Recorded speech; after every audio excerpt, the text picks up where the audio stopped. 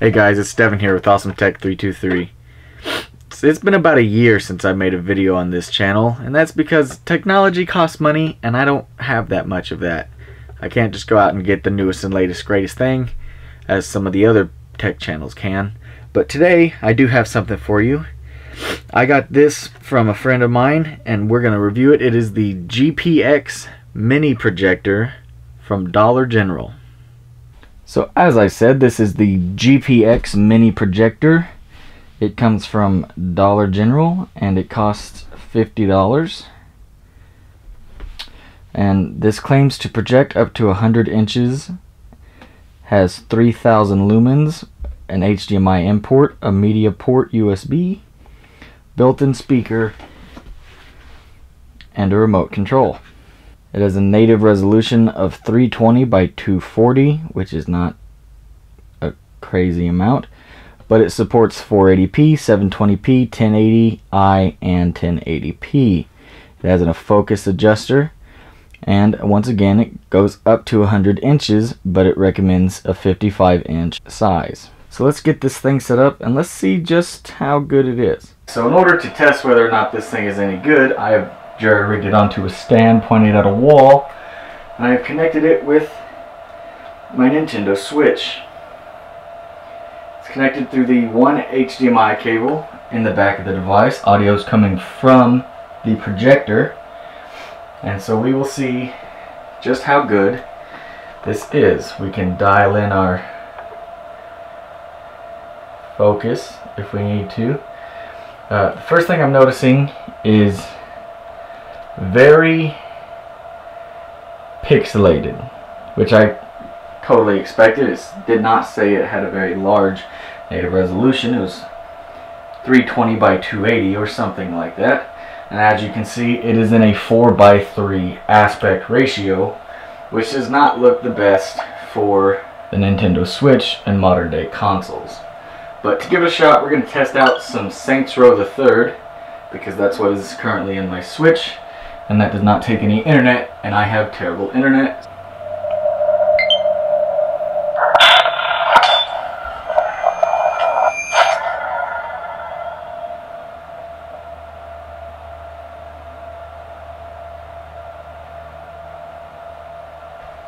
Fish Labs. Volition. Yeah, I cannot read any of that. When the following appears, do not turn off your console. And the only reason I know it says that is because I've seen it so many times. This is the audio from the projector. This is the image from the projector. This is not a flat wall, so that is adding a little bit of texture to it. Let's see if we can turn up the volume at all. The volume is maxed out at 32.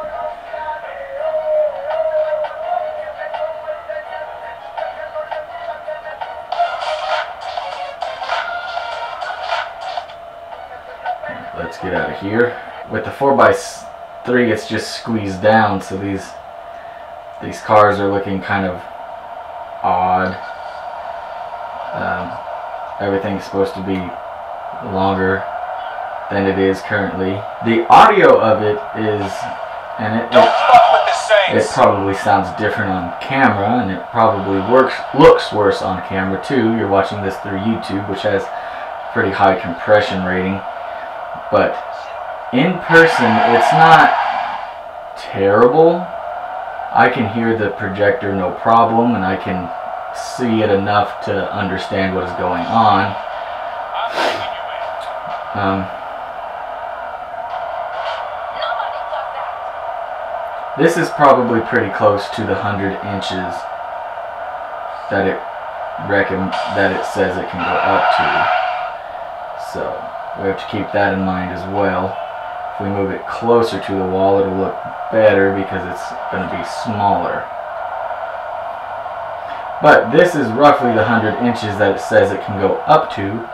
Any higher than this, I definitely think would be a little bit too much noise and pixelated to really enjoy what is going on at all. Some people just can't fight. Gunshots are not a terrible sound, you know. It is a single speaker. It is probably not a very great speaker.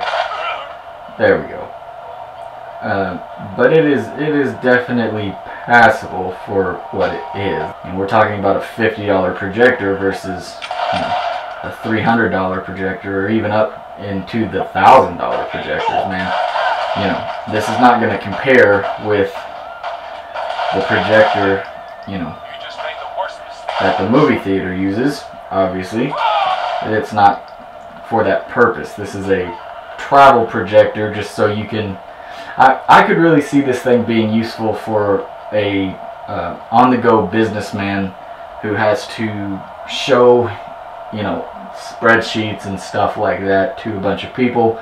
This fits easily inside of a bag or briefcase and just a single HDMI unit or if you have it all on a flash drive there's a USB port that can read data from the flash drive. Saints are gonna own this city. Gaming I don't really think is the intended purpose of this projector but obviously that's what I'm going to use it for as I am not an on-the-go businessman who needs to show a bunch of people a bunch of spreadsheets. The fan on it is decently quiet. It's uh, when nothing is playing on it it sounds fairly loud but once stuff starts playing through the speaker it quickly over overdrives the fan speed so you don't really have to worry about that. And there's an explosion. The colors are decently well. You can pretty well tell that I have green hair and a purple jacket. Its resolution is high enough that you can understand what is going on. This would definitely be a better projector suited towards watching things or looking at presentations as opposed to People just can't playing video games. This would definitely not be, uh, at this size anyway, this would not be the ideal projector for a graphic novel type video game or something along those lines. Just because the resolution is not high enough that you'd be able to read what is happening, and a graphic novel, that is kind of a necessity. So how does the GPX mini projector stack up? For $50, it is not a bad projector by any means. Um, is it a great projector?